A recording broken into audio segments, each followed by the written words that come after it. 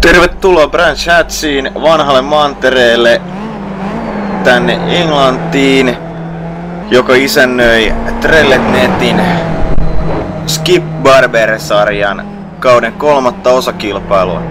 Meillä on aikaa, josta jo reilu puolet ajettu. Tällä hetkellä paalua pitää Markus Saarialla 1.40.082. Kakkosena synttereitään viettävä Mikko Melkkilä 1.40.249 ja siinä perässä erittäin lähellä vielä Joonas Lahti, Joni Ahvenainen, Ville Niemi, veljensä Mikko Niemen peesaamana ja Samu Snab seitsemäntenä. Tällä hetkellä sekunnin sisään mahtuu ensimmäiset kahdeksan kuljettajaa, eli todella tiukkaa on taas luvassa, kun aikaa jo vielä 13 minuuttia jäljellä.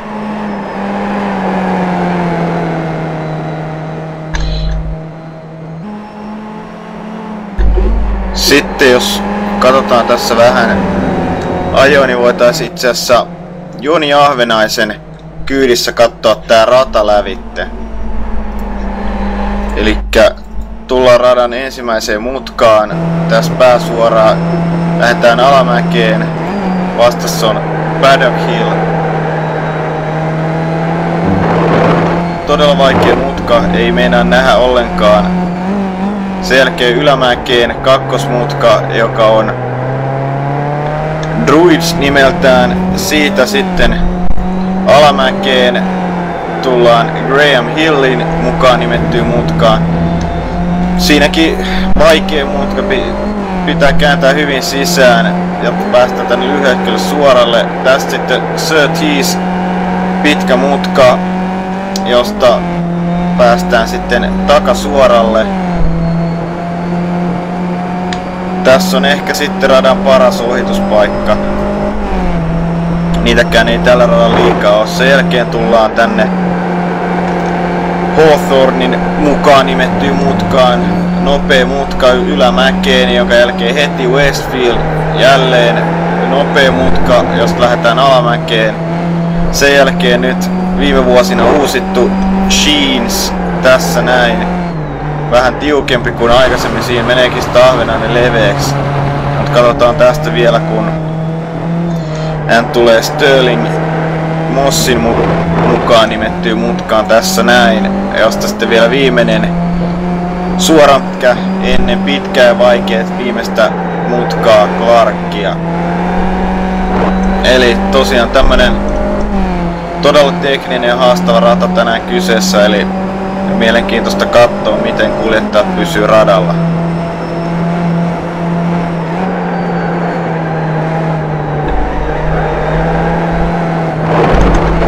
Jos muuten nyt sitten tästä radasta, niin tähän on tosiaan avattu jo tossa vuonna 49 ja alun perin sisälsi oikeastaan pelkästään tuon stadion osuuden niin sanotusti ilman tätä loppulenkkiä ja siitä on sitten rata kasvanut ja 70-80-luvullahan Täällä ajettiin vuorotellen Silverstonen kanssa Brittien Grand Prixtä. Ja formuloidenhan piti tänne 2002 myös palata, mutta Arni Metsä esti sitten radan muokkaus aikeet F1 jälleen sopivaksi. Muuten yksi legendaarisimmista radoista, mitä löytyy vielä, eli näitä vanhan ajan ratoja, joita enää paljon kuitenkaan käytössä ole.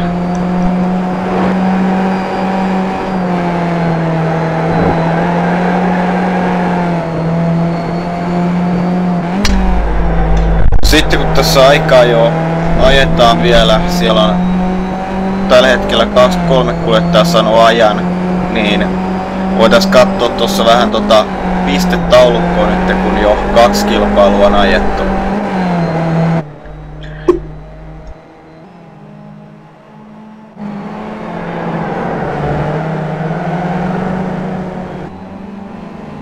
Eli pisteethän on jo aikautunut aika tasan. Tasan kun siellä Joonas Lahti niin nousi kakkospaikalle vajaan kymmenyksen päähän Markus Saaresta. Mutta tosiaan pistetaulukko.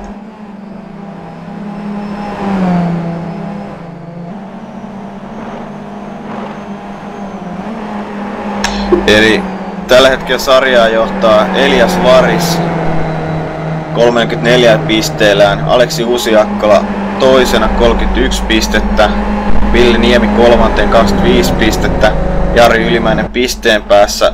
Ja Joni Ahvenainen 20 pisteellä viidentenä, selkeä Mikko Niemi 18 pistettä, tasapisteessä Teemu Lappalaisen kanssa, selkeän Tero Hänninen 17 pistettä, sitten 16 pisteellä Tuupmatias Rytkönen, Jarno Viljanen, Petri Pyöriä 15 pinnaa, Kalle Peltonen 12, Joni Hakkarainen 10, 9 pisteen Leo Lännemäki, Pertti Uppala, Samu Snabi ja Joonas Lahti 8 pistettä, Petteri Kotovara 7, Tuomas Koskela 6, Veilahtinen 4, Joonas Artikainen 3 ja sitten loput onkin nolla kierholaisia.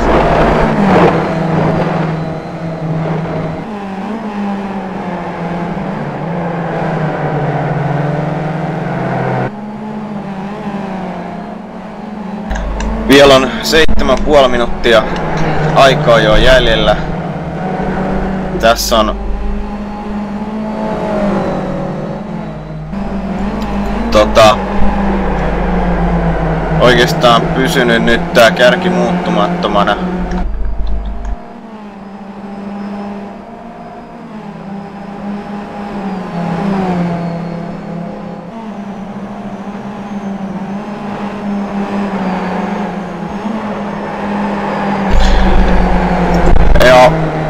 Tällä hetkellä tosiaan niin sekunnin sisällä yhdeksän kuljettajaa nyt ja kahden sekunnin sisällä sitten jo 16 kuljettajaa. Eli todella tasasti oli luvassa, mutta nyt mitä kahta ekaa kauden kisa on seurannut, niin ongelmana on enemmänkin ollut toi maaliin pääsy, kun sitten se, että ei sieltä kilpakumppania löytyy, se pääsisi sitten kisaajamaan, eli maaliin pääsemällä on yleensä ollut aina hyvillä sijoituksilla.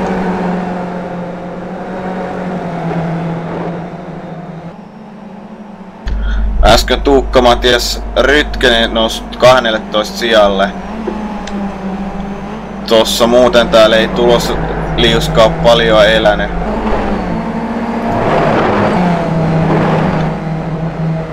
Siellä on esimerkiksi Mikko Melkkilä ja Ville Niemen välinen ero 12 tuhannesosaa, eli todella pienillä eroilla mennään tänään.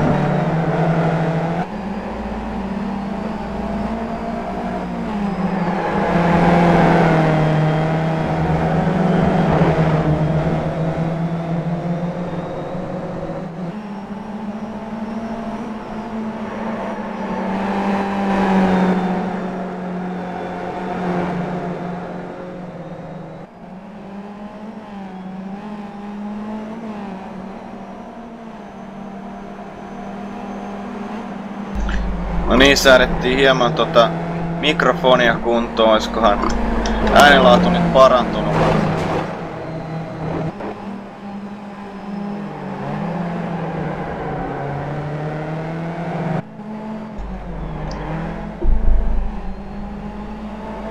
Ja tosiaan edelleen siellä on tulosliuska about saman näköinen. Veijo Lahtinen itse asiassa on nyt yhdeksäntenä. Todella hyvä suoritus viime kisaan verrattuna, ainakin tästä aikaa, josta kun hänen pahin kilpakumppani eli Tuomas Koskela on siellä 19.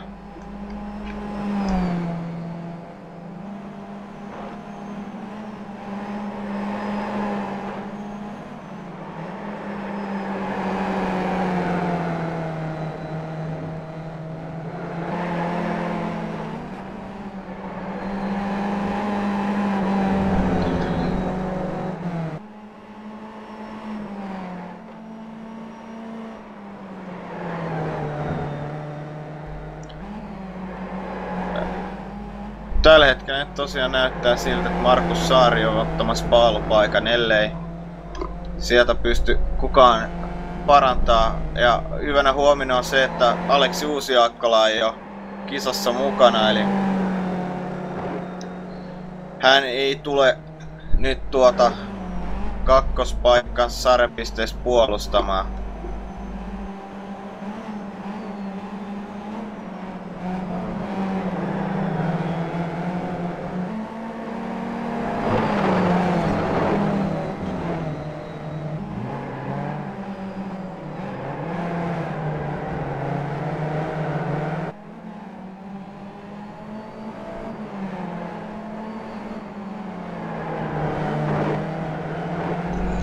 Nyt Joni Hakkarainen nousi siellä 15 tossa äsken. Jari Ylimäinen tiputettiin 16 sijalle.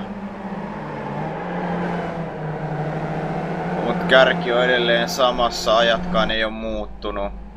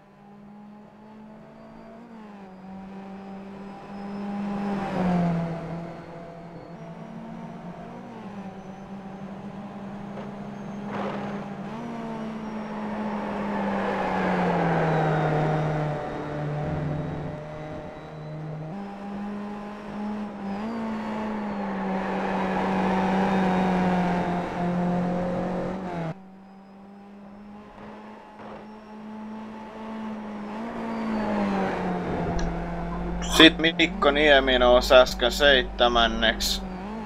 1.47.82 vajaan kympän Samu Snabbia nopeimmalla ajalla. Mutta edelleen kärki on Markus Saari, Joonas Lahti, Mikko Melkkilä.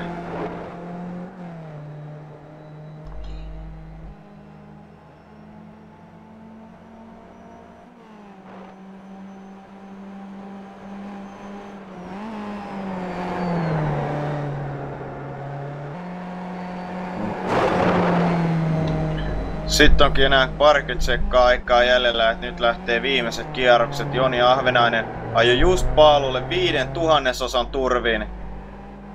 Eli nyt saatiin uusi paalu mies. Mikäs on Markus Saarentilan hänen radalla. Joonas Lahti ei pysty aloittaa uutta kierrosta. Mikko Melkkiläkin on viimeisellä kierroksella, kun aika on täynnä. Ville Niemi ei ole radalla eikä Kotovaara. Nyt katsotaan Mikko Melkkilä viimeinen kierros. Vähän siinä menee Sterling pitkäksi, mutta miten Clarkki vielä sujuu tästä, katsotaan millainen kierrosaika tulee. Edellinen kierrosaika ei ollut hyvä ja Melkkiläkin karttaa varikolle, eli Paalun ottaakin nyt sitten Joni Ahvenainen viime tingassa. Nyt varmaan tulokset on valmiit, eli voidaan luetella ne. Siis Paalul Joni Ahvenainen, Markus Saari kakkosena, viisi tuhannesosaa peräs. Joonas Lahti kolmantena, Mikko Melkkilä lopulta neljäs. Ville Niemi viides, Petteri Kotovara kuudes, Mikko Niemi seitsemäs. Samu Snap kahdeksas, Vei Lahtinen yhdeksäs. Jaakko Oksanen kymmenes, Teemu Lappalainen 11, Tukko Rytkönen 12, J.P. Knuutinen 13, Tero Hänninen 14, Joni Hakkarainen 15, Jari Ylimäinen 16, Elias Varis 17 siis sarja kärki, Petri Pyöriä 18, Tuomas Koskelo 19, Leo Lännemäki 20, Ville Ahopelto taitaa olla uusi kuski näissä riveissä 21. Anssi Heinonen 22. ja Mikko Karvenen viimeisellä sijaan 23.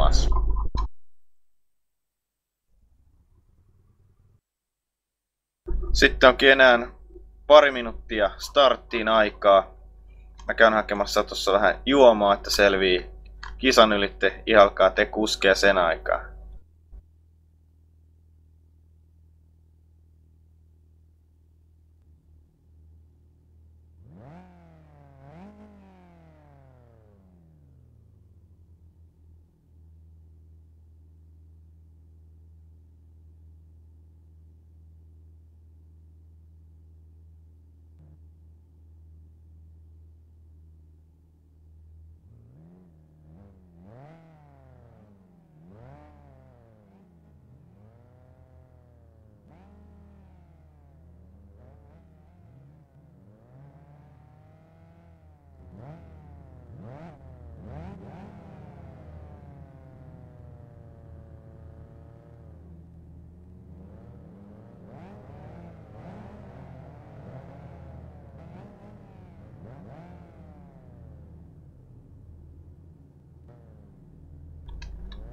Sitten on enää 40 sekkaa starttiin. Eli nyt kannattaa katsoa sitten tuossa varsinkin startissa niin Mikko Melkkilällä on tämmönen punainen monokoukki, si- siniset noi, sitten noi sivu auton kyljet. Ja sitten Ville Niemi, tämmönen vaaleansininen autossa on tummansininen kärki. Ja Joonas Lahti, täysin punainen auto. Siinä sitten vierellä paalulla Markus Saari, tuommoinen tummansininen auto ja Joni Ahvenaisella musta, jossa on vähän vihreitä, mutta nyt meillä on sitten lähtö aivan kohta tapahtuu. Ja valot palaa jo ja sitten lähtö tapahtuu. Aavenan ottaa hyvä lähde, mutta niin ottaa Markus Saarikin. Nousee siihen jo rinnalle. Melkkilä lähtee sitten haastaa sisäkautta. Markus Saari ulkokautta osuu pikkusen ha- Ahvenaiseen. Joonas Lahti lähtee sitten sisäkautta haastaa Saarta. Melkkilä myös. Melkkilä menee sinne Saaren rinnalle. Ville Niemi on siellä pahasti pussissa. Melkkilä ja Saari tulee rinnakkain. Saari vetää pidemmän korren, mutta lähtee perä vähän irti. Melkkilä osuu pikkusen perään. Tullaan sitten siitä rinnakkain. Ville Niemi nousee sinne ja Melkkilän rinnalle. Tullaan tässä sitten Sötisiä rinnakkain Ville Niemi ja Mikko Melkkilä todella lähekkäin. Ville Niemi käy pikkusen leveänä siellä jo.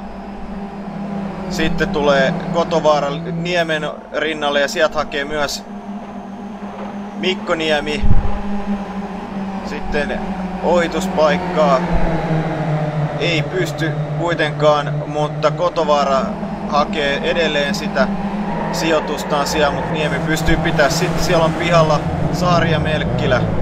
Saaria Melkkilä on pihalla. Heidän kisa päättyy siihen. Ainakin todella suuri nousu joutuu tekemään. Katsotaanko siitä vielä uusinta tässä, vaikka tapahtumia on kuitenkin paljon. No, katsotaan myöhemmin, sanoo ohjaaja. Mikko Melkkilä tippui kuitenkin ihan tonne peräjoukkoihin. Ja katsotaan nyt sitten, mikä on ensimmäisen kierroksen jälkeen tilanne. Eli Joni Ahvenainen johtaa, Joonas Lahti toisena, Ville Niemi lopulta kolmantena. Ja Kotovaara neljäs. Tosi Mikko Niemi hakee just ohitusta siitä ja Kotovaara spinnaa. Katsotaan mitä siitä käy. Kotovaara menee sinne siististi nurmikolle. Jo kärjessä. Kärjessä sit Joonas Lahti nousi Ahvenaisen ohitte, mutta Ahvenainen ei luovuta. Tullaan rinta rinnan tänne alamäkeen. Sitten mennään rinnakkain kohti Sötissiä. Kumpi ottaa pidemmän korren siinä Ahvenan sisälinjalla. Pystyykö pitämään, on pikkusen edellä jo aivan rintarinnan tullaan todella lähellä. Siinä lähes renkaat osuu. Lahti saa paremman vauhdin tänne takasuoralle, kun tullaan kohti Hawthornia. Siitä sitten Lahti ottaa kärkipaikan haltuunsa.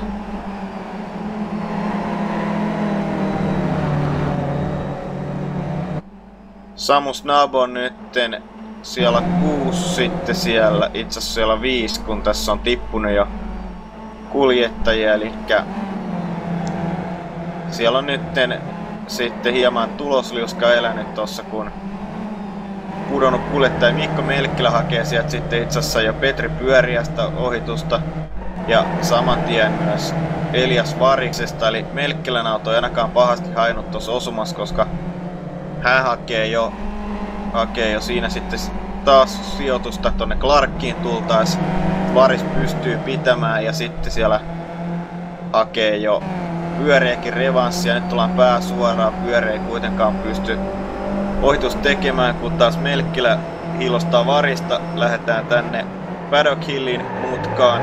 Melkkilä osuu taas ja spinnaa ja sitten ollaan hiekoilla jälleen ja Melkkilä on synttärikisassa taas kyntämässä täällä näin. Ei oikein toi kantti kestä sitten Melkkilällä.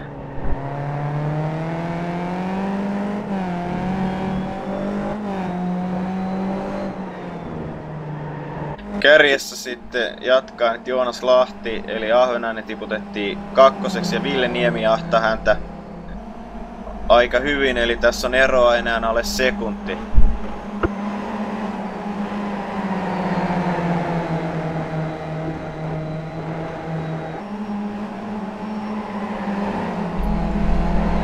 Eli tosiaan tulos tai sijoitukset eli aika paljon tässä ensimmäisen kahden kierroksen aikana. Nyt tosiaan Joonas Lahti johtaa, Joni Ahvenainen kakkonen, Ville ja Mikko Niemi kolmas, neljäs, Teemu Lappalainen noussut viidenneksi, Samu kuudes, Veijo Lahtinen upeasti seitsemäntenä, Tuhka Matias Rytkönen kahdeksas, IP Knuutinen yhdeksäs, Jaakko Oksanen kymmenes, Tero Hänninen 11, Jari Ylimäinen 12, Elias Varis 13, Mikko Melkkilä. Katsotaan onko tullut linjan ylitteet, mikä on nyt sijoitus siellä sitten kun päivittyy kerran kierroksessa vaan tää liuska. Eli tällä hetkellä näyttäisi 14 sijaa ja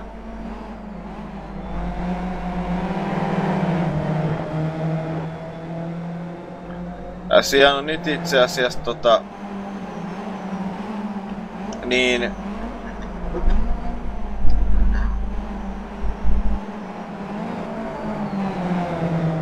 Sitten Markus Saari tulee tuonne Päräkilin mutkaan hakee ohituksen ulkokautta sitten tosta Joni Hakkaraisesta nätisti menee ohitte. Ja Markus Saari sitten siellä 19, siinä on Ville Ahopelto seuraavaksi edessä. Kun sitten kärjessä tai kakkospaikalla ottaa toi niin Ville Niemi edelleenkin kiinni. Joni Ahvenaisti nyt on jo alle puolen sekan päässä. Puolen sekan päässä ja tota, katsotaan nyt tätä näin, että miten täällä käy. Koska Joonas Lahtikaan ei ole vasta 1,4 sekan päässä. Päässä tossa noin ja tästä voi vielä tulla jännä kärkikamppailu.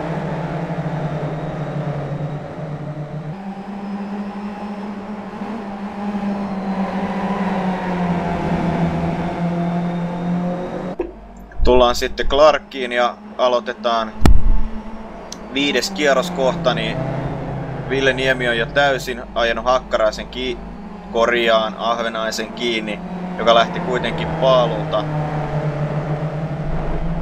kilpailuun. Tästä tullaan Paddock Hilli. Ja Lännemäki ajoi pihalle täällä näköjään sitten sieltä 14 tuolla Sterlingissä ja nilkuttaa sitten kisaa eteenpäin. Nyt kun tullaan tänne Sterlingiin korjaan Surteesia kohti, mutkat hyvin hallussa, niin taas on aivan kiinni Ahvenaisen perässä Ville Niemi, Ahvenainen pikkusen leveäksi. Nyt on aivan kiinni. Katsotaan sitten lähteekö rinnalle. Tullaan tänne Ylämäki Ahvenainen vähän siinä peittää. Niemi hakee sisälinjaa, tullaan jarrutukseen ylämäkeen. Niemi ei pysty tekemään mitään. Mutta tässä on ajan kysymys nyt, kun ohitus tapahtuu. Todella tiukkaa. Sitten mennään alamäkeen kohti Sheensia ja taas lähellä ollaan, mutta tässäkään ei varmasti uskalla tulla rinnalle liian nopeavahtinen mutka. Jonka jälkeen vuorossa Sterling. Tässäkin liian vähän matkaa siihen ohituksen tekoon. Tullaan sitten takasuoralle tai jollekin niistä. Ja vielä on Clarkki tästä nyt, jos saa hyvän ulostulon, niin voi koittaa haastaa tonne Paddock Hillin mutkaan, mutta ei. Ville Niemi ei pysty haastaa Ahvenaista vielä tällä kiekalla. Ero on kuitenkin nytten kellosta katsottuna puolitoista kymmenystä, eli aivan minimissä mennään. Eli sijoitukset on kakkonen ja kolmonen tässä näin. Elias Varis näköjään putos serveriltä, eli hän menettää kierroksen tossa, tuli kuitenkin takas, pääsee jatkamaan kilpailua vielä.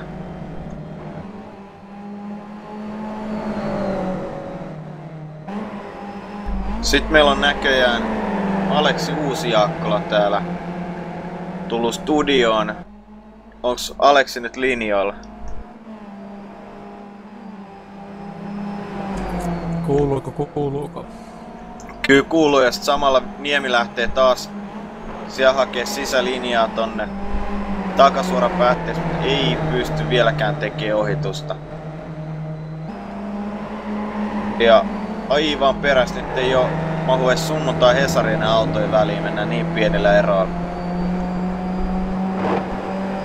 Mut näyttää pysyvän tässä tilalla, niin kysytään että Aleksilta sitten, että mitäs nyt... Ja sit samalla Villeniemi spinnaa. Villeniemi spinnaa jakoille. Katsotaan tippuuko.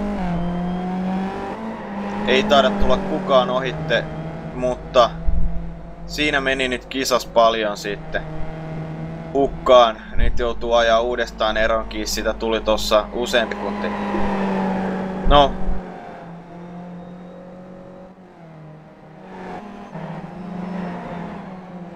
Niin, Aleksi, mites, miksi sulla jäi kisa väliin nyt? No, arvioi vähän kelin väärin ja meni matkassa pikkusen kauemman aikaa, kun tuli lipputempella tuolla. Ei kerennyt pelipaikalle. Eikö se ole niin, että ylikovaa niin kääntyilee? Niin, niin pitäis, mutta ei tuolla oikein liikenteessä käänteille vielä liikaa. Kyllä näinhän se on. No mutta, nyt saatiin seuraa tänne selostuskoppiin. Mites tota, kerkesit treenaa tätä Brands Hatchin rataa yhtään? Kyllä mä eilen kävin servulla tai parikymmentä kiekkaa testaamassa, että ihan mukava rata oli noilla vehkeillä. Joo, niin luulisi olevan kun siellä sitten sijoilla 7 ja 8 Veijo Lahtinen ja Tero Hänninen ajaa kisaa. Siellä on Hänninen Ainu Lahtisen kiinni ja koittaa nyt ohitus sitten. Ja nythän me ajetaan kierrosta 7, kun 27 kierroksen kisa on kyseessä.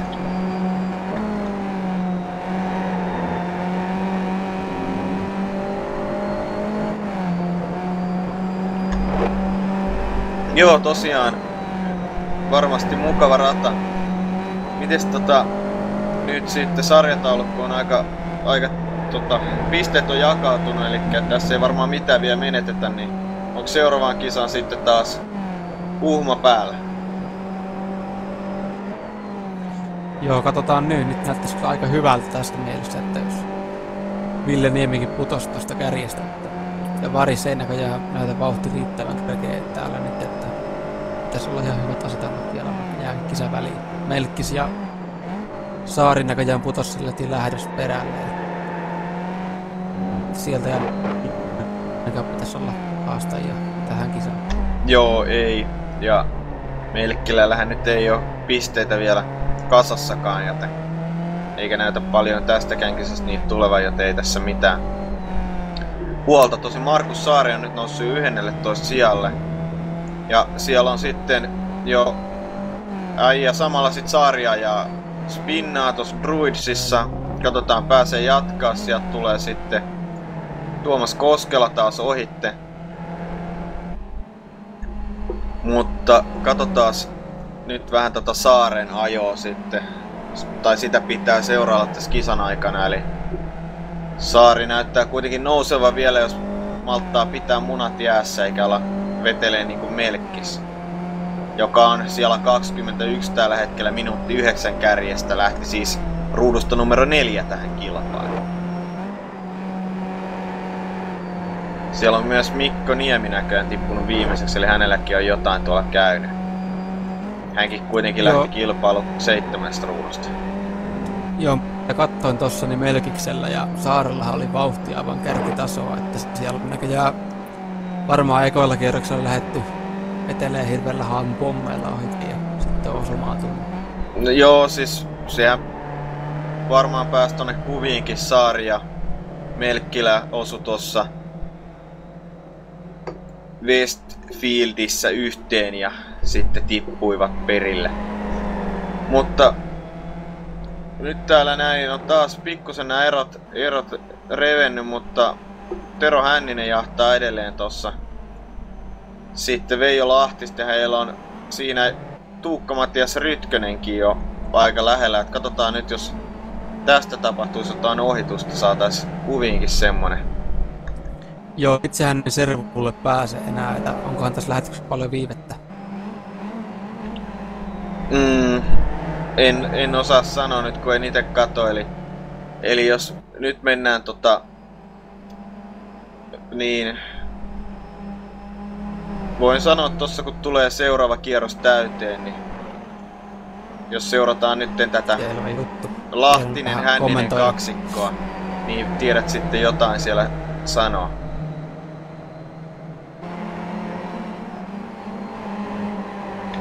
Mutta tosiaan jälleen tässä nyt kävi vähän niin kuin kahdessa aikaisemmassakin kisassa, eli startissa ei osattu pitää niitä munia jäissä ja taas sieltä on tippunut vähän se ja tää sinne sun tänne, eli paljon on taas ollut noita spinnejä ja virheitä, kun sit Hänninen on aivan Lahtisen perässä kiinni nyt.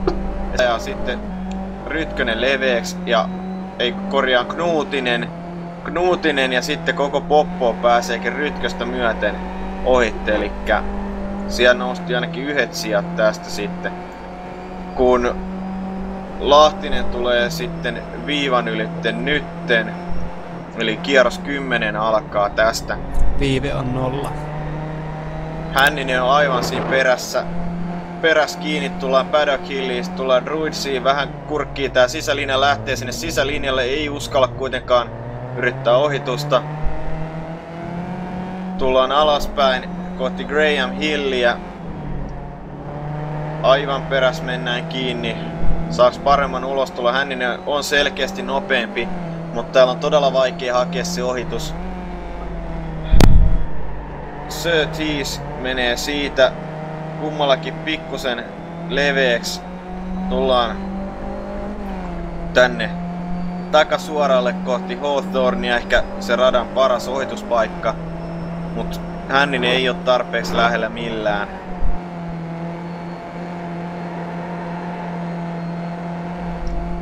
Ja se menee nätisti kummaltakin, ei vielä mitään.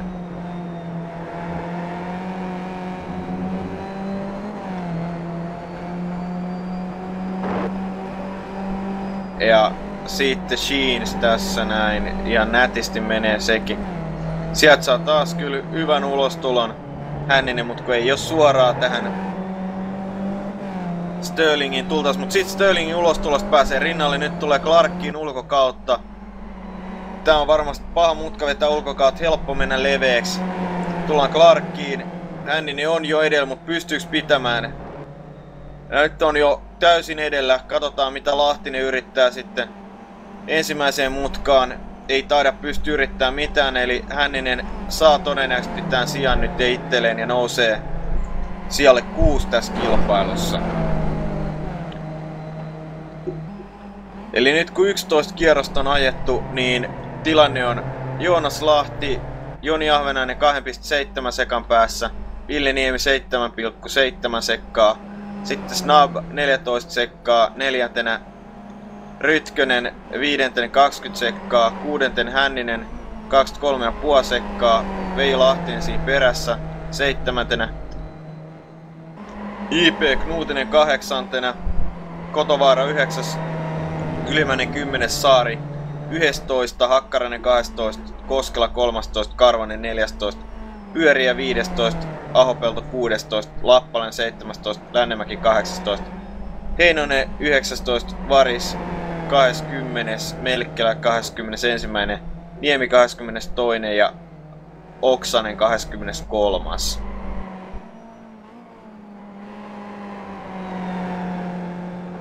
Joo, kyllä tuossa huomasi, että näillä skippyillä noin kaksi ekaa kierrosta aika ratkaisevia, että siellä nämä autot on niin tasaisia ja tosi vaikeita ohittaa, ja kun näillä pitää ajaa ihan äärirajoilla, jos haluaa mennä lujaa. Sitten niitä virheitä tuloa ja venähtää, niin se on sitten loppukisa vaan ajelua helppoja pisteitä. Joo, tosiaan, ja mitä sarjataulukkoon katsoo, niin näyttää vähän siltä, että nopein, nopein tai nopein matkuskit ei ole siellä kärjessä ollenkaan, eli Eli tosiaan tässä nyt on vähän tullut se selville, että kuskit ei oikein malta tätä 27 kierroksen kisa-ajalla. Ehkä on totuttu liikaa noihin Publikin skippy-sarjan parinkymmentä minuutin repäsyihin.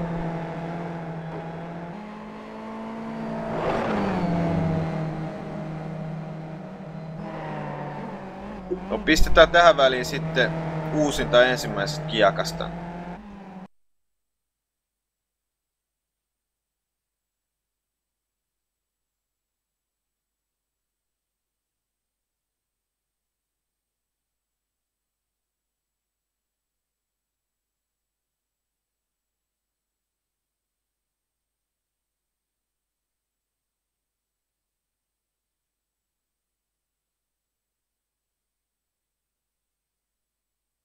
No niin, ja sit lähtee...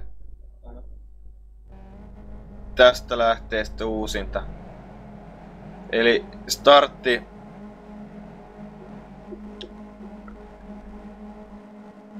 Kun katot starttia, tässä lähdetään liikkeelle, eli sieltä otti Markus Saari otti kakkosruudussa hyvän lähdön. Ja sitten Ville Niemi jäi tonne oikeastaan taakse. Markus Saari koitti siellä hakea tota kärkipaikkaa ja jäi sitten sen takia Lahden perään, jonka sitten Melkkilä hyödynsi tuossa menne Niemen ohitte ja nousten siihen sitten Saaren rinnalle. Sitten kun katsotaan tässä Melkkistä onboardista, niin siinä tulee jo ensimmäinen osuma. Siellä on Ville Niemi nyt rinnalla tullaan sitten tähän Surteesiin. Melkkilä saa pidettyä vielä kivasti ton linjan siinä, mutta sitten Exitissä valutaankin niemen kylkeen. Ja sitten katsotaan täällä Lahti lähtee haastamaan, Korjan saari lähtee haastaa Lahteen tähän Hawthorniin, mutta ei pääse ohitte. Ja sitten katsotaan mitä tässä käy tässä Westfieldissä, eli siellä ajaa saari leveäksi, sitten tullaan rinnakkain tänne Westfieldiin ja siinä sitten Melkkilä kääntääkin siellä vielä puoliksi sisällä ollen saaren kylkeen. Tästä johtui tää kolari sitten. Samalla siellä sitten Niemi hyödynsi tän ja otti ton kolmospaikan. Mutta palataan sitten tonne takas tonne liveen ja katsotaan mitä siellä on tapahtunut. Joo, kyllä mä katson tossa jo, niin Melkkilä paino Ville Niemen aika karusti tossa tonne pihalle. Kun Melkkilä oli rinnalla ja lähtivät sinne ylämäkeen kiihyttämään, niin otti ihan oman linjansa sieltä miten sattuu. Että tieska, että kaveri on linjalla, että kyllä pitäisi vähän ajatella, ettei painota nurmikolla tolla tavalla. Sitten tossa kun toi saari tuli tuolta, niin ehkä No jaa, toi nyt oli semmoinen tilanne, että olisi pikkusen ehkä saaren pitänyt malttaa ja antaa Melkkiksen mennä, mutta Melkkis aika tiukasti vetää sinne sisälle linjassa, että... Noita sattuu.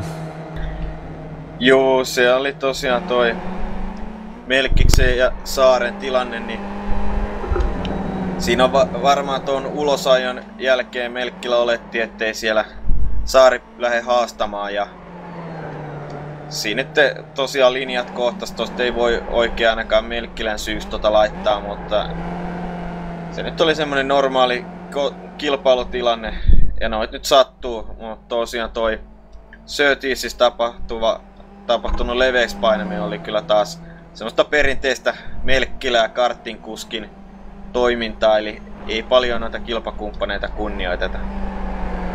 Mutta tosi se on, se on sitten nähty näissä eräissäkin formulasarjoissa, että voittajat ei kunnioita ketään. Tosi Melkkilällä on vielä siihen voittamiseen aika paljon matkaa tässä sarjassa. Nyt ei ole sitten tämän ulosajon jälkeen Niemi pystynyt kyllä ajaa kärkeä kiinni enää yhtään.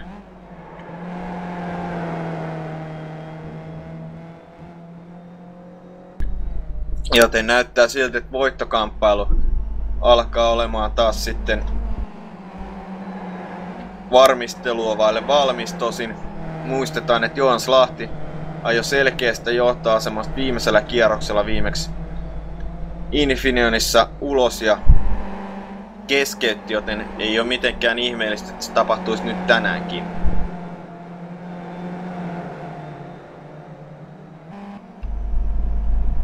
Tässäkin on jo kisa edennyt 15 kierroksen, eli puoliväli ylitetty. Tosiaan tällä hetkellä kärkikymmenikko on Joons Lahti, Joni Ahvenainen, Ville Niemi, Samus Naava, Tuukka Matias Rytkönen, Vei Lahtinen, Petteri Kotovaara, Tero Hänninen, Jukka-Pekka Knuutinen ja hyvän nousun ton ensimmäisen kierroksen kolarin jälkeen tehnyt Markus Saari, jolla on itse asiassa enää vaan auton mitta J.P. Knuutisen voitaisiin seuraa tämä näin. Saari todennäköisesti tulee pääsemään ohitte, koska on selkeästi ollut nopeampi tässä kilpailun edet. Se edellinen kierros 1.49, kun Knutinen on 30 hitaampaa. Mä nyt ollaan täällä takasuoraan sitten jo kohti tota Hawthornia. Siinä ei kuitenkaan pysty toi saari vielä haastamaan. Mut sitten ajaa pikkusen leveäksi. Knutinen saari pääsee todella lähelle. Mutta taas tässä todella lyhyt suoranpätki ei mahdollista ohittaa. Ja Tero Hänninenkin on nyt sit itse asiassa siinä aivan lähellä. Hän on näköjään tehnyt virheen sitten ja tippunut sieltä taas Lahtisen taakse. Nuutin lähtee hakee jo hänestä ohitusta. Saarisia sitten kyttää perässä. Nyt tässä on todella mielenkiintoinen kolmen kopla, kun vaikuttaa siltä, että ensimmäisenä on hitain kuski ja viimeisenä nopein tässä porukassa. Eli siellä on keskimmäisellä todella mielenkiintoista oltavat, kun pitäisi päästä ohitte mahdollisimman nopeasti, ettei takaa tulla ohitte. Joo, ja siinä on vielä niin huima eronnus jarrupikos, että siellä saattaa tulla säpinä. Joo, siellä sitten pikkusen käy hiekalla sekä Hänninen että Saari. Knutinen menee Hännisen linjalle tokaan mutkaan korjaan sisälle. Siellä lähtee sitten Saarikin hyödyntää heti tätä, kun Knutinen nousee Hännisen ohitte hienosti. Saari on nyt sitten tässä Hännisen perässä. Katsotaan, miten menee tää. Graham Hill menee paremmin Saarelta. Pääseekö Hännisen rinnalle Sötisiin? Ei pääse. Kummatkin valuu mutkan pikkusen leveäksi sisään tulossa. Tullaan takasuoralle. Ei taida riittää saaren vauhti tuohon Hännisen rinnalle nyt vielä tässä kohtaa. Vaikka lähelle pääseekin auton mitta enää eroa. Siinä Hawthorne menee kaikilta nätisti, mutta selkeästi näkee nyt, että Knutinen saa vedettyä eroa tähän kaksikkoon, eli hän on selkeästi tulppana saarelle. Nyt tekee sitten Westfieldissä vi- pienen virheen Hänninen ja nyt nähdäänkö Sheenissä ohitus sinne menee ja kyllä siellä sitten kuka ja Knutinen korjaan. Kyllä Knutinen sitten spinnaa ja siellä osuu sitten saari siihen ja se on siinä sitten varmaan heidän osaltaan. Katsotaan uusintana kun mä nyt löydän sen täältä jostain. No niin, siinä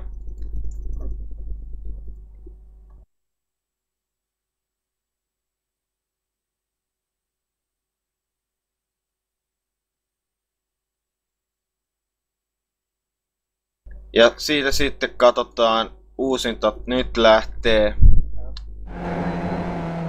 No niin, ja sitten tota... Siellä sitten Knutinen tosiaan ajaa ja tulee tänne Sheensiin. Siellä on itse asiassa, kuka siellä oli Kotovaaras pinnanneena. Ja Kotovaaraan törmäs Knutinen ja siihen osui myös sitten Saari.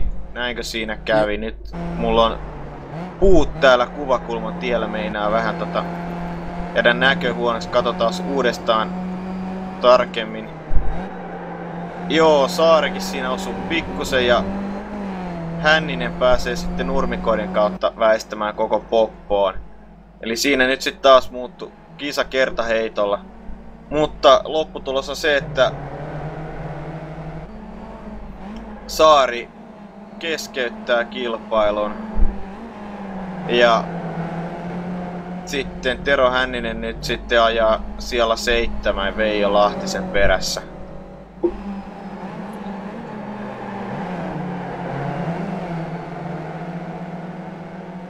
Joo, ja siinä Knutinen näköjään osuttu kotovaaraa, oikein hän osukaan, niin tarvitti keskelle tietä, pysäytti autonsa. Yritti nopeasti pysäyttää, että pääsi resetoimaan ja päähtämään rikolta. Tuossa tilanteessa pitäisi kuitenkin ajaa se autonsa pois ajoradalta ja sitten vasta pysäyttää.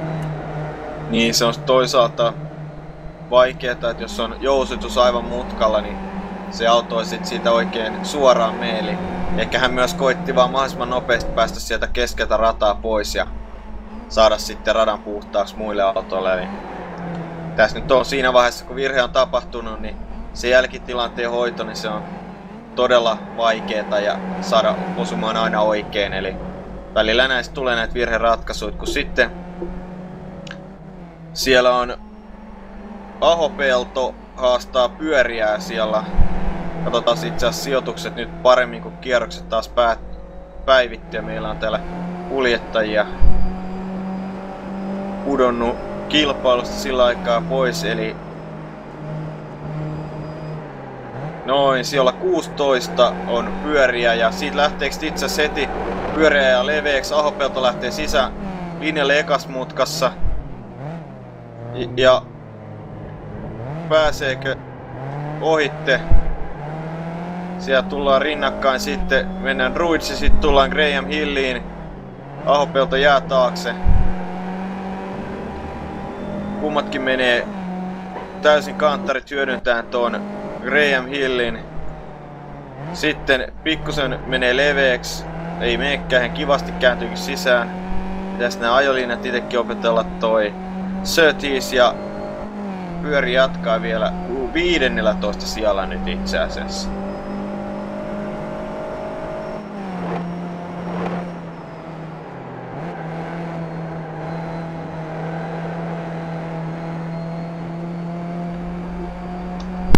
Joo, ja nyt tosiaan, kun kohta meille tulee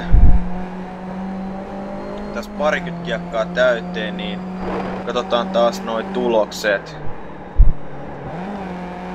Ja siellä Ahopelto nyt jäi pikkusen sitten pyörien perään, mutta katsotaan, eikä me vielä nähdä tässä ohitusyritys.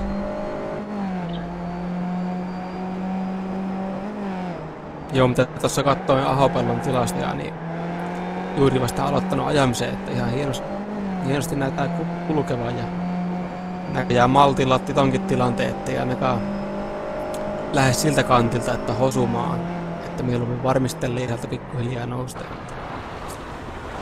Lupaava, lupaava kuljettaja alku. Kyllä, nyt tulee meille kaksi kiekkaa täyteen, eli jo, Juuri kun pääsin oh. kehumaan, niin siellä on Ahopelta pellolla. Että... Ah, ei siinä tarvitse muuta kuin normaali jo virhe tulla. Joo, siellä meni vähän ensimmäisen mutkan jarrutus ja seinään siitä. Aho kohtasi peltonsa. Eli kaksi kiekkaa ajettu, niin Lahti johtaa. Kolme puosekkaa eroa Ahvenaiseen, Ville Niemi kolmanten yhdeksän korre, about 10 sekkaa siitä sitten perässä Snab neljäntenä. Rytkönen viides, Lahtinen kuudes, Hänninen seitsemäs, Ylimäinen kahdeksas, Koskela yhdeksäs eli Lahtinen Koskela kamppailussa. Lahtinen jälleen viemässä pidemmän korren. Lappalainen kymmenes, Melkkilä noussut nyt jo 11. Lännemäki 12, Varis 13, Kotovaara 14, Pyöriä 15, Ahopelto, joka tippuu tosta. Siellä Lappalainen tulee sitten rinnalle Koskelasta tänne pääsuoraan pitki. Tullaan ensimmäiseen mutkaan siinä jarrutuksessa. Lappalainen saa paremman jarrutuksen tehty ja pääsee ohitte nätisti. Siellä Koskela ei pysty mitään ja Koskela on nytten sitten siellä kymmenen. Tosiaan siellä on... Joo, toi on toi ensimmäinen mutka sellainen, sellainen että jos sinne pääsee hyvälle jarrutuksessa linjalle, niin se pääsee niin kova, kovaa sinne ulos, että siinä jos pikkusen valuu ulos, niin se auto menee joko sinne hiekalle ja valuu seinään asti, taikka sitten se vauhti hiljenee niin paljon, että sinne häviää ihan välittämättä. Tossa pitää ihan vaan sisästä vettä kantterilta. Joo, tai taitaa olla todella vaikea mutka saada osuus sille kohdalle, ja kittele on ollut, ollut, kun se on tosiaan täysin näkymätön se apexi sieltä jarrutuspaikasta ja turn inistä vielä ton jyrkän alamäen takia.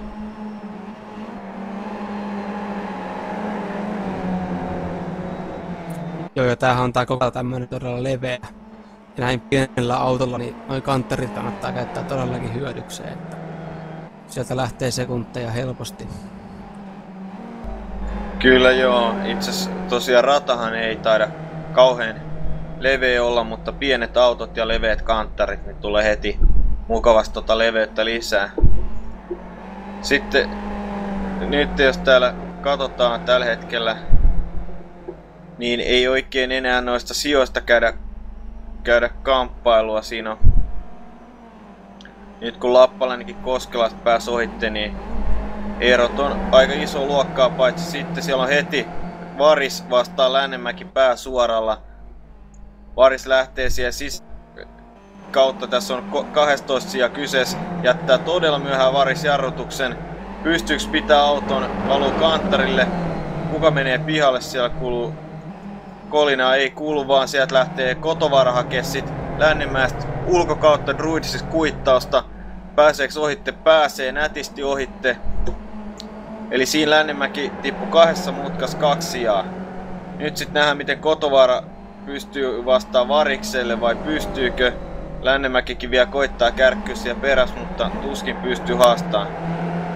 Nyt menee Kotovaara Sötis leveäksi. Siellä pääsee Lännemäki ihan peesiin kiinni. Tullaan kohti Hawthorne, pääseekö Lännemäki koittaa ohitusta siihen? Ei taida ihan riittää. Siitä jarrutus. Kotovaara pystyy jarruttaa myöhemmin. Ja siellä menee sitten Varis edellä hieman leveäksi.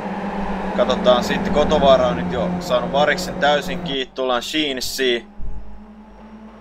Kotovaara ei vielä pysty tekemään mitään, mutta nyt on todellakin lähellä sitten ohitus kun Lännemäki tippui tämän kaksikon kelkasta täysin.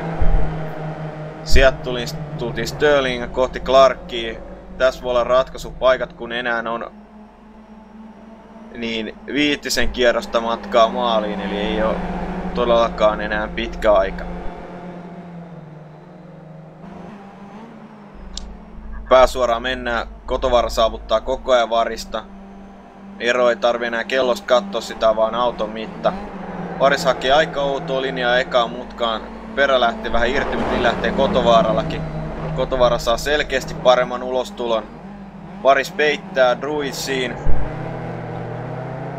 Se auttaa Kotovaaraa hakee paremman ulostulon, mutta ei, ei riitä. Aivan perästä tullaan kiinni, mutta Graham Hill menee vielä peräkkäin, mutta siitä ulostulo on paljon parempi, mutta Varis koittaa peittää, Kotovar hakee nurmikon kautta sisälinjan Sötissiin. Riittääks vauhti? Ei riitä. Varis jatkaa siellä sijalla 12 edelleen, tullaan taas takasuoraan pitki. Nyt ei ole ero tarpeeksi pieni, että pystyisi yrittää ohitus tohon Hawthorneen, joka on ehkä ensimmäisen mutkan ohella se toinen hyvä ohituspaikka.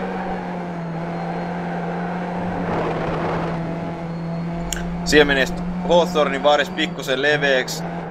Ja taas pääsee hakemaan, sit menee myös Westfieldi, mut ei ihan pysty hyödyntämään tätä. Kotovaara. Tullaan Sheensiin taas. Miten käy? Kotovaara jää vieläkin taakse. Sitten jälleen Sterling hyvin hakee variksella auto koko ajan. Nyt mennään ihan limitillä tässä.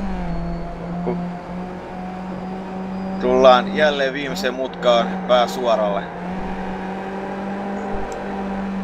Nyt Kotovaara pitää jatkaa tätä painostamista. Selkeästi nähty, että varis alkaa olla siellä aika housut löysänä. Koko ajan tulee virheet, koko ajan lähdetään peittämään ja ajamaan kuin Fisikella Susukassa 2005. Sehän näkee, mihin se päättyy. Siitä et lennä kuin R-pää. Jälleen tullaan toiseen mutkaan ja Varis peittää taas aivan turhaan. Kotovaara on lähelläkään siinä yrittää ohitusta. Sitten lähtee Kotovara perä vähän irti, saa hyvin kopattua sen. Ei häviä paljon aikaa siinä. Tulee jälleen kohti Sötissiä. Tästä viimeksi oli todella lähellä ohitus. Mutta ei onnistunut silloin, eikä nyttekään tuu tapahtuu. Mut ulostulo on jälleen parempi tänne takasuoralle, mutta ero on vielä tuommoinen puolitoista auton mittaa, eikä se tule riittämään ohitusyritykseen tonne Hawthorniin.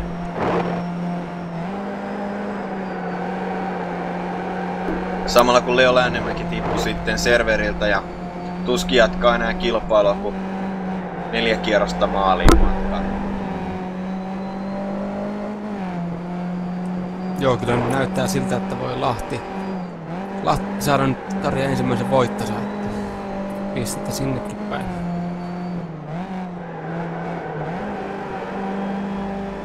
Joo, nyt taas todella lähellä siinä Kotovaara, kun tullaan viimeiseen mutkaan, mut jälleen Varis peittää vähän, katsotaan nyt miten tää sujuu. Siellä menee Variksen leveäksi taas aivan turhaan peitti.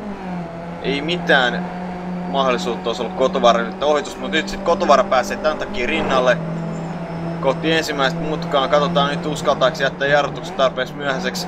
Rintarinnan tullaan aivan lähekkäin, mutta ei osu. Ja Kotovaara saa paremman ulostulo ja menee selkeästi ohitte ja ottaa ton 12 sijaan.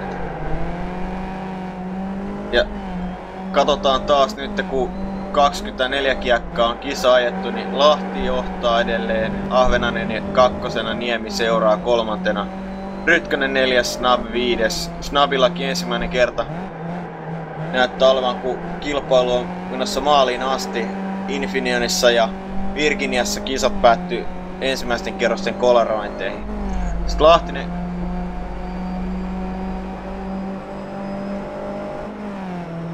Lahtinen kuudes, Hänninen seitsemäs, Ylimäinen kahdeksas, Lappalainen yhdeksäs, Melkkilä kymmenes, Koskela 11, Kotovaara nyt 12, Varis 13. Sen jälkeen kierroksella jääneitä Karvanen pyöriä. Sitten kaksi kiekkaa jäänyt Lännemäki ja viisi kiekko, eli keskeyttäneitä Ahopelto, Heinonen, Hakkarainen, Saari, Knuutinen, Niemi ja Oksanen.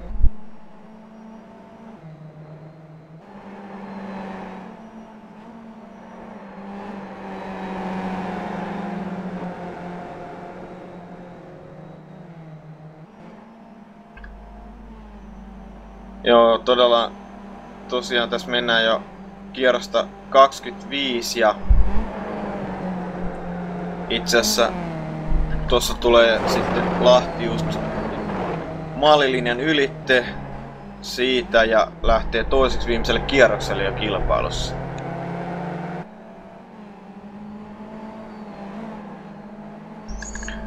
Kotovaara on nyt ajanut reilu kaksi sekuntia viime kierroksessa kiinni Koskelaa ja ero on enää se kaksi sekuntia, eli tästä voi tulla viimeisen kierroksen vääntö vielä.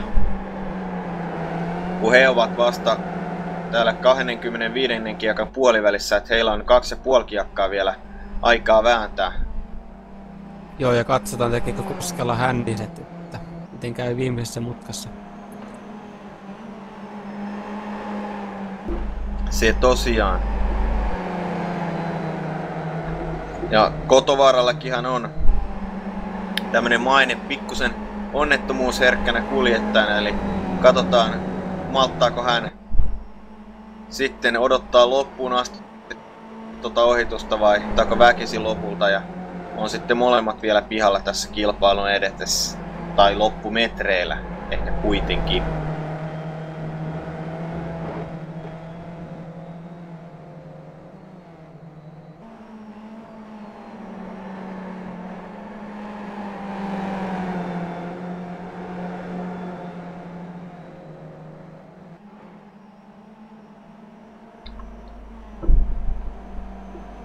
Ja nyt edellinen kierros Kotovaaralta taas puolitoista sekkaa kovempi, eli ero on kellosta katottuna tasan puol 1,3 sekuntia, eli nyt siitä kun Koskela vetää vielä kakkosmutkas pitkää sladia, niin oikeastaan nyt voi sanoa, että Kotovaaran eroain umpeen. Voitaisiin katsoa tuosta vaikka onboardista Kotovaaran työskentelyä ja kuinka se ohitus sieltä haetaan. Joo, Koskelahan ei ole niitä helpompia ohitettavia. Se paikka täytyy tosiaankin tehdä. Sitä ei saa. Joo, Koskela on vähän kanssa tämmönen jääräpää, joka sitten mieluummin hävii aikaa sekunti tolkulla, kun päästään selkeästi nopeamman kuskin ohitse. Tosi sehän on ihan oikein. Kilpaa kun ajetaan, niin ei ketään ilmaiseksi ohi päästä.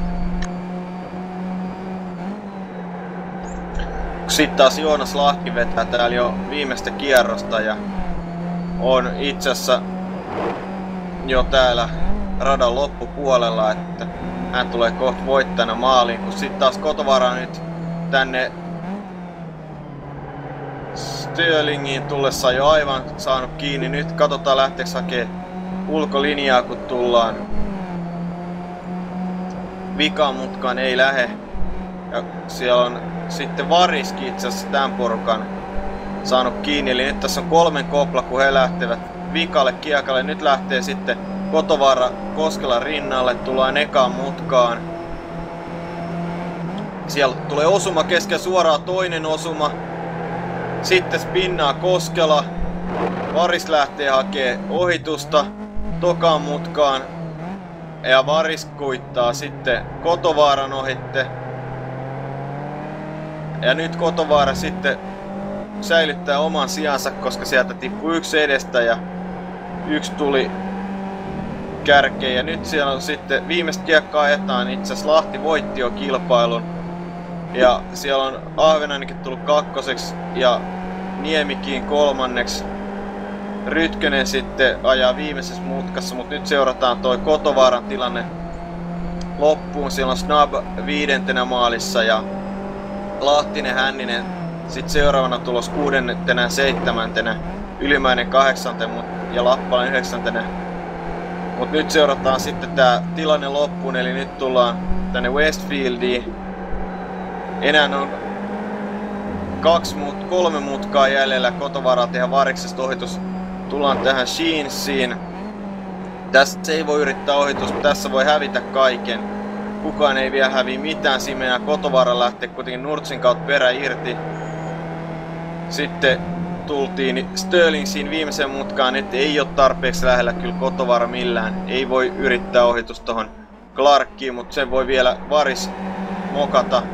Ei mokaa. Ero ei ole enää kuin puolauton mittaa, mutta se ei riitä. Vaikka Kotovaaralla on kovempi vauhti, niin Varis vie tämän tilaan tästä ja ajaa maaliin sitten 11 ja Kotovaara ottaa ton 12 paikan. Katsotaan vielä miten Tuomas Koskela, Koskela nilkuttaa 13 maaliin. Kun sitten Mikko Karvanen, Petri Pyöriä 14-15, Lännemäki 16 ja niin edespäin olikin jo keskeyttäneitä sitten. Joo, kyllä taas nähtiin semmonen kilpailu, että nopeat kuskit pudotettiin ekalla kahdella kierroksella perälle ja ajovirheiden kautta ja kolareiden kautta. Ja osa kuljettajista sitten, jotka pysty pitämään munat jäässä ekan kahden kiekan aikana, niin ajeli sitten rauhassa helppoihin pisteisiin, että sellaista taas. Toivottavasti nähtäisiin nähtäisi jo seuraavissa kisoissa jo vähän tasaisempaa vääntöä noista voitoistakin.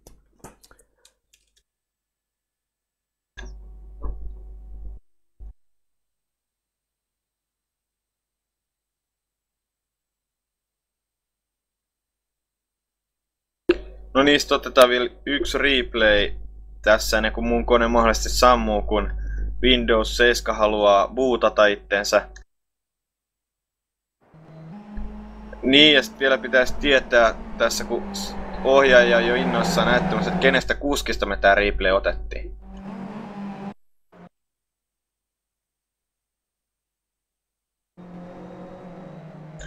No niin.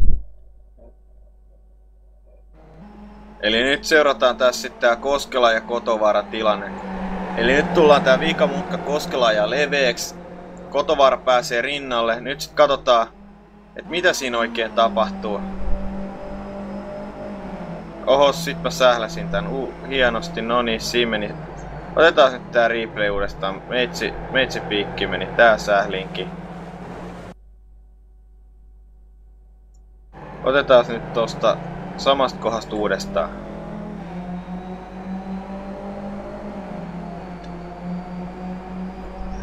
No niin, onnistusko tää nyt? Eli sieltä tullaan sitten Kotovaara ajaa siitä sitten Koskela rinnalle. Nyt katsotaan mitä tässä osumassa tapahtuu, eli kenen pussiin tää menee. Siinä tullaan aika lähekkäin. Kotovaara jarruttaa, Koskelakin on aika siellä kesken rataa molemmat ja sit vaan osutaan. Tosta on aika hankala sanoa, että mikä tossa nyt olisi sitten. Kumpi tossa on syyllisenä, mutta aika kilpailutilanne, josta Koskela nyt sit kärsii enemmän. Joo, kyllä siinä molemmat vähän niinku heittelehti sinne ja mut lähti kääntämään oikealle ja sopivasti kilikkasivat yhteen, että näitä sattuu. Siinä kun olisi vähän reunimassa ottanut molempia, mutta tuossa vaiheessa puristetaan niin kovaa, että tietysti iso ero kuljettajien välilläkin, että Kotovaarahan otti sen kaksi sekuntia kierroksellakin, niin että saattako sinne sitten olla pikkusen, että Koskela yritti omaa jarrupaikkaansa viedä pikkusen pidemmälle, että saisi pettyä sen paikkansa, mutta sieltä sitten tuli virhe molemmilta. Joo, Koskelahan on tunnettu siitä, että hän peittelee kytysyrityksiä, että ehkä hän koitti jättää mahdollisimman vähän tilaa, tilaa tuohon, ja nyt on sitten jännät paikat, eli kot saattaa olla, että meidät lähtee selostajalta ääni veke ja se on sitten tää homma siinä. Mut itse asiassa mun kikkailu, kikkailut taitaa toimia, me jat vielä.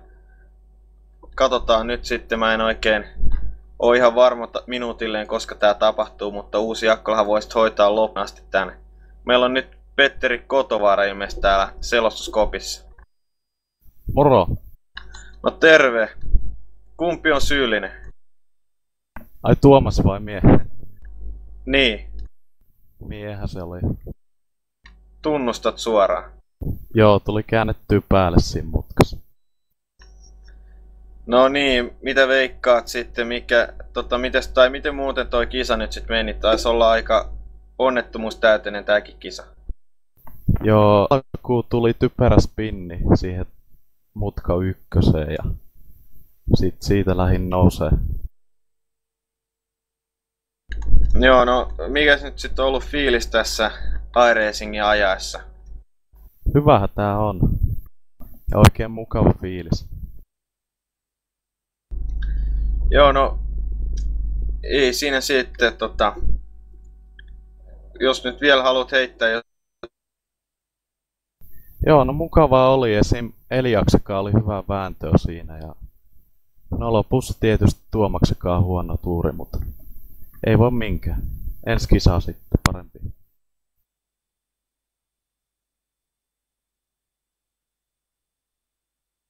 Kiitti striimille ja kaikille.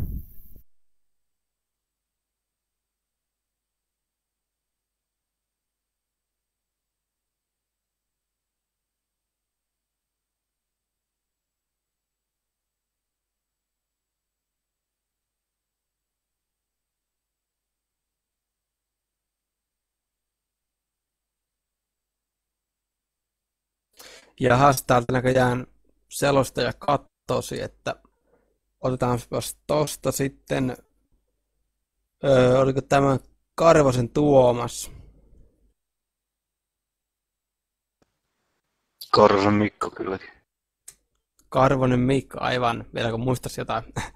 Eli mitenkäs meni, en oikeastaan nähnyt koko kisaa, mutta kerropa nyt omat tunnelmat, lähtö ja suurimmat tapahtumat ja mitä tapahtui. Joo, yllättävän hyvin meni kisa, että hirveän vähän treenillä mukaan, eli olin kuolissa vikana, että se oli vähän pettymys, mutta muuten oli, oli ihan jännä, hyvä kisa joidenkin kanssa. Esimerkiksi Petri Pyörien kanssa oli hyvä kisa ja sitten yhdessä vaiheessa kuitenkin tuli pikku moka siinä ja sitten pääsi semmoinen kunnon kasa autoja ohi ja sitten, sitten oli jonkun aikaa semmoista yksinäilua ja sitten, sitten yllättäen tippui muutama pois sitten ja oli 16 ja sitten, sitten olinkin yhtäkkiä 14. En, en ainakaan huomannut meneveni ketään ohi, että en mä sitten miten se tapahtui, mutta ihan hyvin meni loppujen lopuksi. Joo, sieltähän taisi tulla pisteitäkin sitten oikein, että käy. Joo, ihanaa pistetilin avaus. Kyllä, selvä. Tuota noin, niin jos on jotain vielä sanottavaa, niin ainapas tulla vapaan sanaa osia. Joo, ei tässä muuta. Kiitoksia kaikille kisasta ja ei tässä muuta. Selvä, kiitoksia. Täällä on sitten Joni Jonki Hakkarainen. Tervepä terve, mitäs kisa meni? Terve, siinähän se meni. Aika tahmeesti meni kyllä kaiken kaikkiaan. Eilen oli treenissä tosi hyvä vauhti päällä ja kaikkea muuta, mutta sitten tänään ei oikein, ei saanut mitään aikaa edes niinku tuossa, mikä tää on, harjoituksissa ennen kuolia, mutta kuolissa sain yhden hyvän kiekan hirveällä tuurilla ja pääsin jonnekin top 10 huonommalle puolelle. Kuitenkin vaan, mutta huono lähtö, pidin sijoituksen. Vissiin tokalla tai kolmannella kiekalla Terppa teki semmoisen hauskan Hazardin linjalle palaamisen ja meitsi sitten joutui vähän niin kuin väistämään ja putosin siinä kymmenen sijaa vissiin kaiken kaikkiaan. Ja sitten tapeltiin pakkaa ylöspäin, josta Möthedistä meni ohi ja ketään muita kaikki. Sitten Joo, tässä näkyy olevan, että... Vai haluatko kysyä jotain välissä? Vai mä tein kaiken? niin, tässä näkyy, että olit 15 aikajossa ja sieltä sitten kisassa putosit muutaman sijaan. Tuliko sieltä jopa keskeytyskin sitten? Keskeytys sieltä loppujen lopuksi tuli. Niin, olin tulossa siihen, että Tuomas K. Koskelan painostin tyylikkäästi virheeseen, mutta sitten sen jälkeen rupesin itse tekemään kahta kauheammin niitä virheitä. Että ei ollut kyllä mikään kovin kummonen kilpailu tänään. Leikkasin muuten itse asiassa yhden mutkan, tai oikasin, niin tuli se musta lippu, että hidasta, niin siinähän osai mut sitten kiinni ja meni ohi. Se oli rankkaa. Sehän on hyvä, että on live-tuomarit, niin ei tarvitse sitten kisan jälkeen kinastella. Näin on. Ensi kisa Sel... menee varmaan paremmin. Ei mitään hajua missä se on, mutta terveisiä kaikille. moi moi. Joo, en mäkään tiedä kisaa, mutta siellä varmaan ajetaan sitten näin. Ja meillähän on sitten Sami Silventoinen taas kuulolla.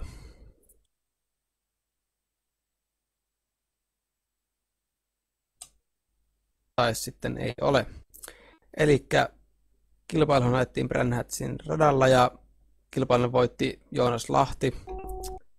Toisena Joni Ahvenainen, kolmanneksi tuli Vilniemi, neljäs Tuukka Matias Rytkönen, viides Samu Snap, kuudes Veijo Lahtinen, seitsemäs Tero Hänninen, kahdeksas Jari Ylimäinen, kymmenes Teemu Lappalainen ja kymmenen kärjen muodostaa Mikko Melkkilä.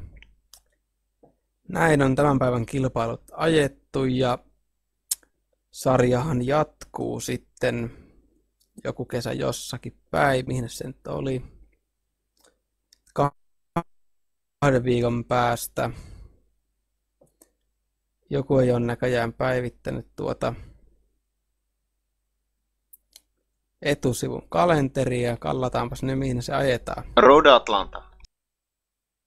Road Atlanta näköjään päristellään seuraavan kerran, ja jospa siellä sitten kuskit pysyisi radalla ensimmäisen kahden kierroksen ja ettei saadaan vähän jännempää kisaa sitten. Olisiko Samilla tähän vielä jotain, vai lyödäänkö lähetyspakettiin?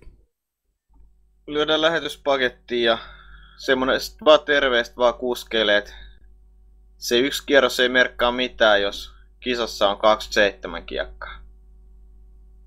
Ja hyvää yötä.